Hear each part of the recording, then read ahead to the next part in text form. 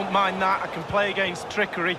Pace is a bit more of a problem. As soon as you got a player like that, you now have to manage him a lot, lot closer.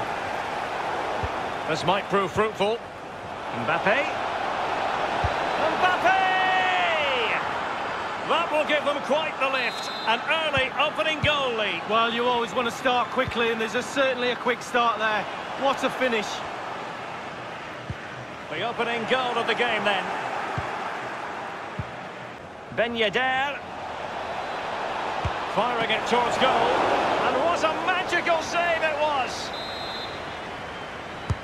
Over it comes. Happy to take on the shot. And it's gone in. So 2-0 now. An abundance of space. And he's got the beating of his opponent, Ben Yedder.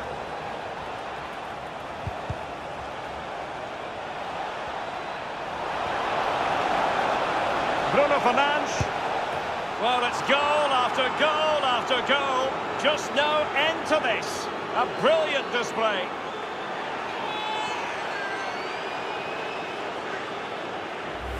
Well, it's brilliant, positive football. That's what the fans pay their money. Mbappe, he'll be disappointed.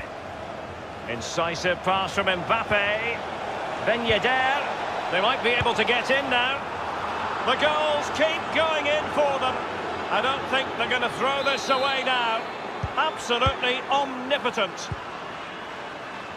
Well, sadly, we have to conclude that this hasn't really... Clear foul play, and as a result, a free kick forthcoming. Paulinho.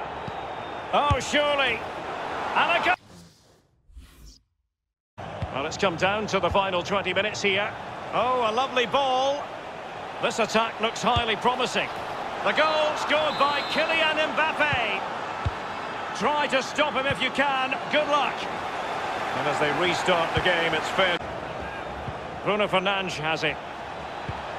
He's in with a chance. And he's fired it against the post.